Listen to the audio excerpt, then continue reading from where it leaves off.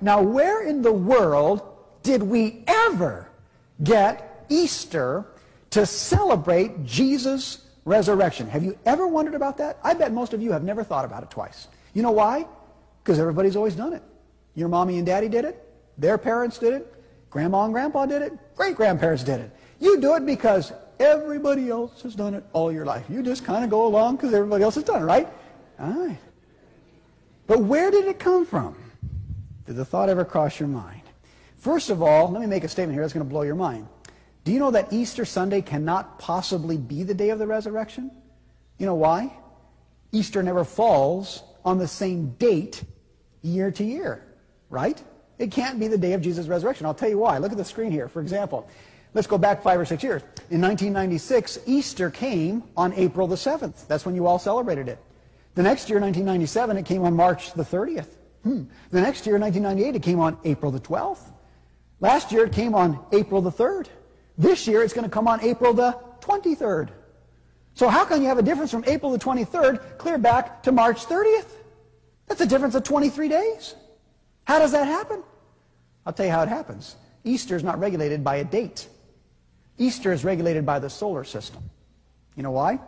Easter always comes the first Sunday after the first full moon, after the equinox, when days and nights are equal length. You never knew that, did you? Isn't that amazing? And so all the people that are celebrating the resurrection of Jesus on Easter Sunday morning, it's just not true. It didn't happen then. okay? But anyway, the question is, how did we ever get Easter on the first Sunday after the first full moon after the equinox? Eh, did you ever wonder about that?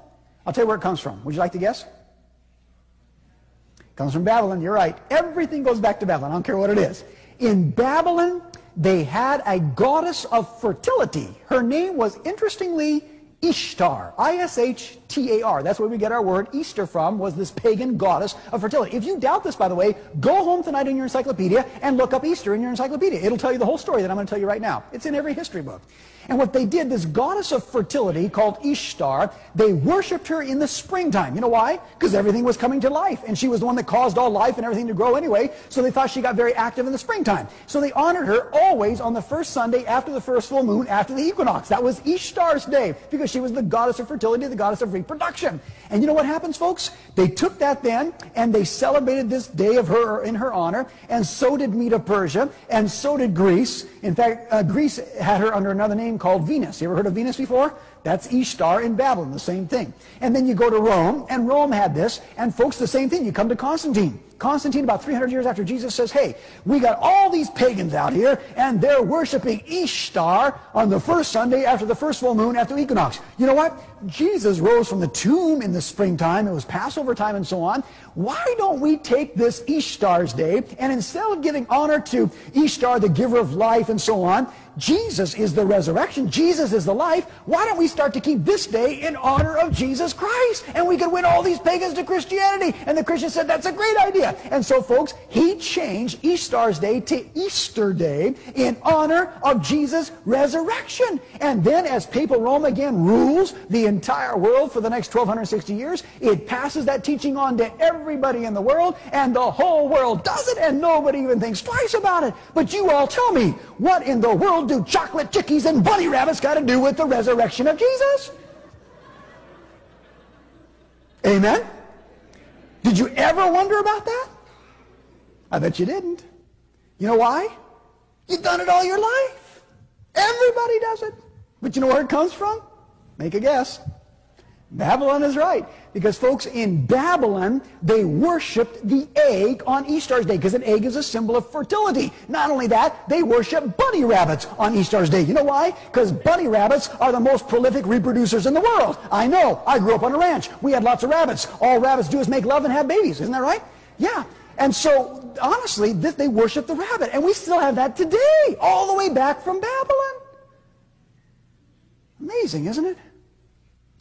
But now, folks, I want to ask you another question here tonight. I want you to think with me, because you're intelligent people.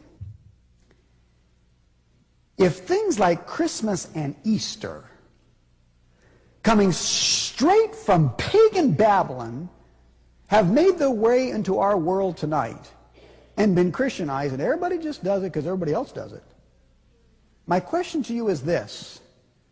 Don't you suppose that there might be some other things also? Don't you suppose there might have been some other false teachings or errors or pagan practices or deceptions that have snuck their way in that we are following and teaching and practicing that's totally contrary to the truth of the Bible? Don't you think there might be some of those? You better believe it, my friends. You better believe it.